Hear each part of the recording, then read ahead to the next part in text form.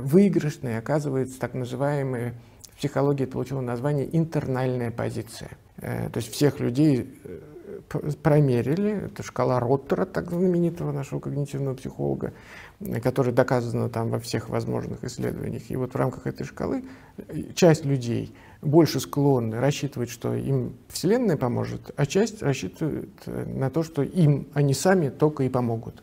Вот. С точки зрения потенциальной успешности, успешность выше на стороне тех, кто считает, что они сами ответственны за свои провалы и за свои успехи, а не те, кто ждут э, улыбки Вселенной или сетуют на судьбу.